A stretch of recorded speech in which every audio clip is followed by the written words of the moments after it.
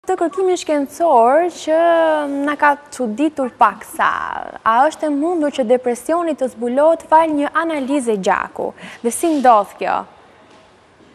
Po, depresioni është një është një sëmundje e rëndë dhe ka shumë pasoja në ato që janë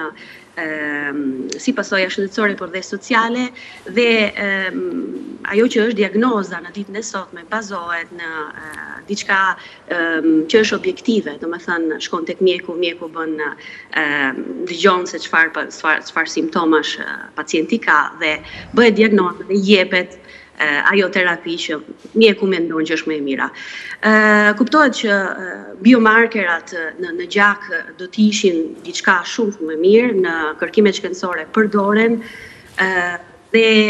janë indikatorë të gjendjes së sëmundjes, të avancimit të saj, ose kur jep një trajtim mjekësor, edhe se si po ecën ky trajtim mjekësor. Një nga punët që kemi bërë kohët e fundit ka qenë të përdorim një biomarker në gjak periferik, domethënë të marrë thjesht të marrë gjakun që merret zakonisht si rutinë dhe ta dozojmë atë dhe edhe të dallojmë midis atyre që janë format e ndryshme të depresionit. Këtë e kemi bërë tek pacientët në bashkëpunim me me mjekët psikiatër që kemi këtu në në Torino Dhe ka qenë disi e suksesshme, numrat janë të vogla si pacientë, megjithatë na, na shtyn që të të përparojmë në këtë në këtë farë kërkimi shkencor, le ta quajmë kështu.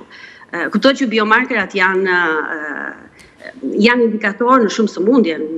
mendoni për diabetin, matja e sheqerit në gjak, apo se ose uh, për tiroiden, hormone tiroide. Kështu që në këtë rast flitet për sëmundje psikiatrike që janë diçka më uh, më e vështirë për të gjetur biomarkera, pikërisht sepse njerëzit janë Nuk janë njësoj të gjithë në në në simptomat e tyre, janë të ndryshëm dhe kjo është vështirësia më e madhe